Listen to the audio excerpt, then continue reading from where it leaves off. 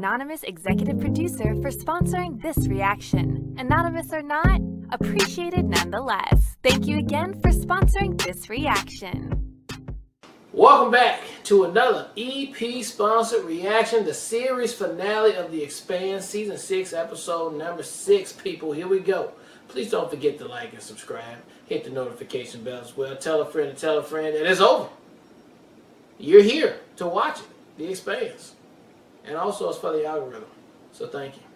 Shout, big shout out to the anonymous executive producer who sponsored the entire Made it to the end. of season six. Thank you so much for doing that, even with and being anonymous. Uh, Yeah. So appreciate you. Thank you so much. So glad we got to get here and got to react to it as well. Yep. So really appreciate it.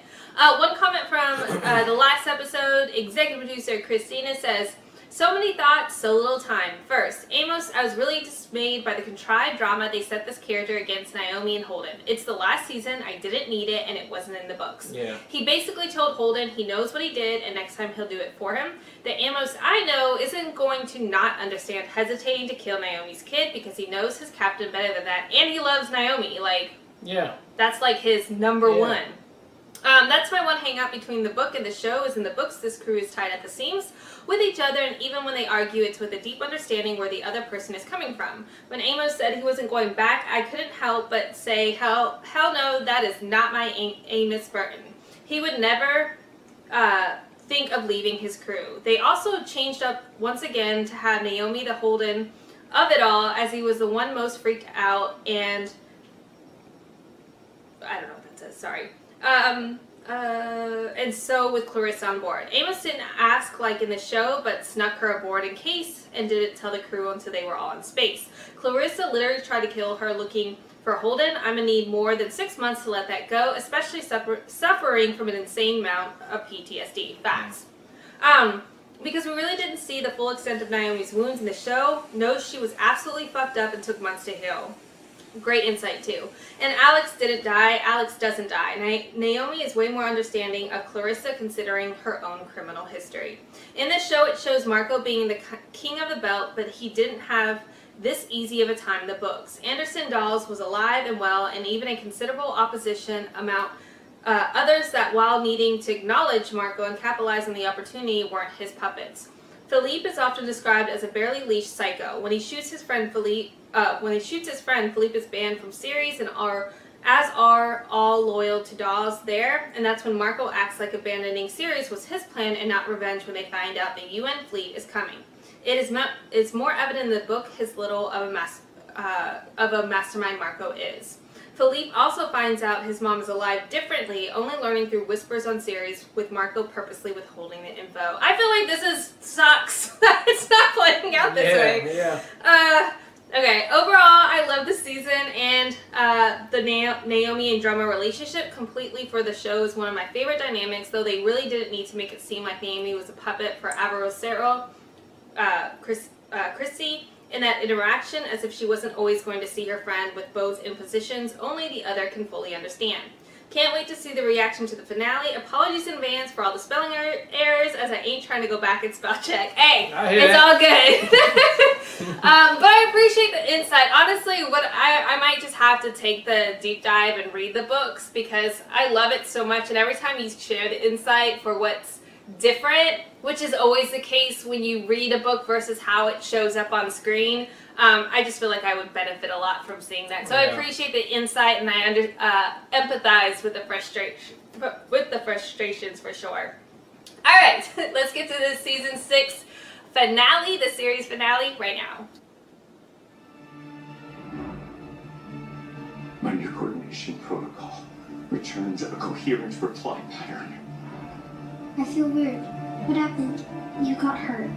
Like, uh, killed her. I'm going to stay here with Joseph on Ceres.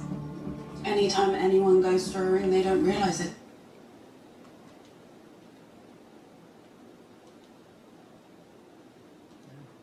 Taking a massive risk.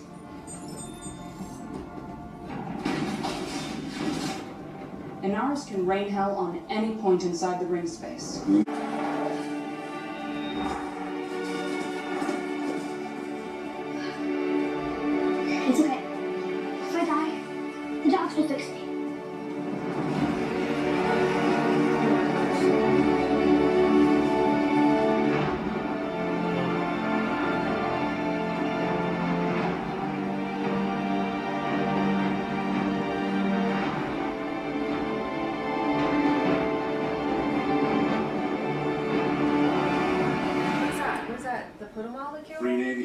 Standard evasion Meaning tactics he to try to sees like the disguise their numbers and drive signatures.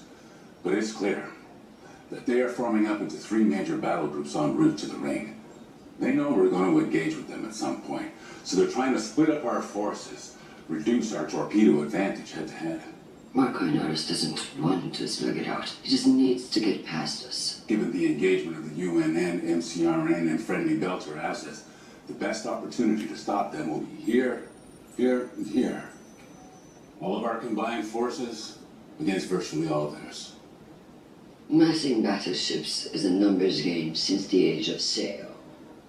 These numbers are too evenly matched for my comfort. Hard to believe the inner fleets have been reduced to this. I'm sure you and your faction did their part. Not recently.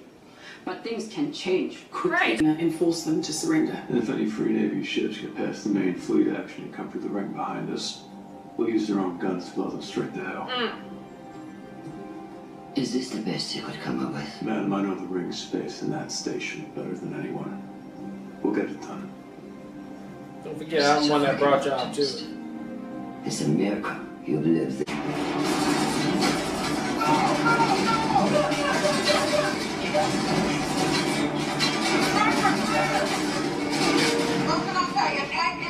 and we have pinned down taking heavy fire from the surface and we're reinforcing from Medina. We need air support! Negative. We have to stay behind Medina. Those railguns will be all over the second we stick our nose out. Uh, what about torpedoes? I can line them up and guide them in. Too much danger of impacting the surface. One plasma warhead hits too close and you'll all be dead too. Dead?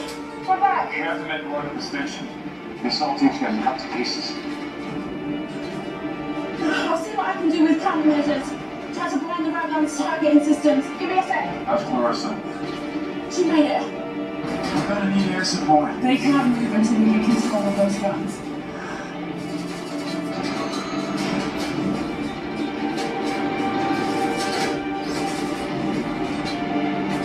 Fucking.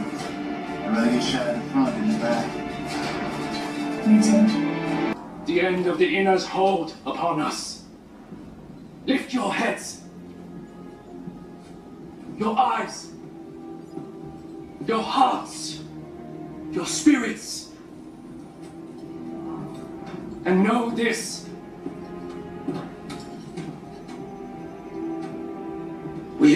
Have. But they have been broken. And when we sweep through the ring one last time and sweep away the Rocinante and all vestiges of the inners from our space,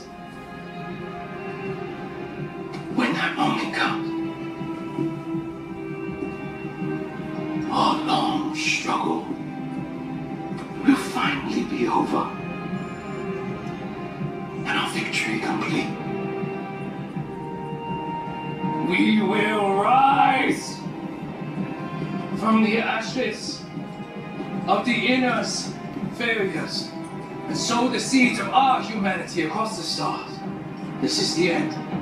The end of the inners. And their end will be our beginning.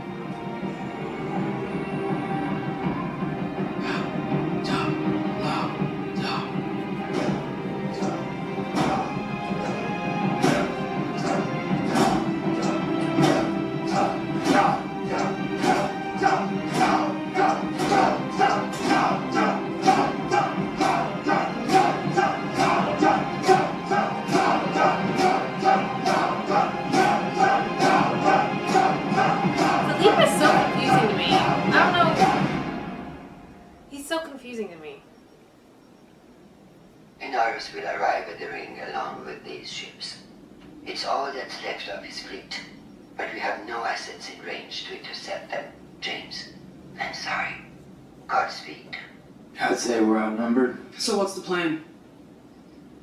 If we took the Roci unit to the ring station, could we use our reactor to power up the railguns? we got a couple weeks. Maybe. We don't have a couple weeks. How long do we have? No.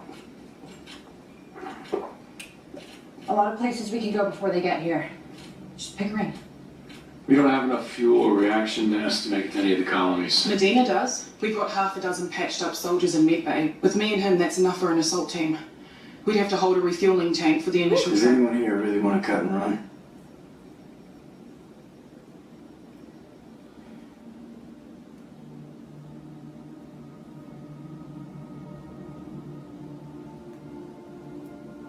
What's left of the Giambattista is still drivable.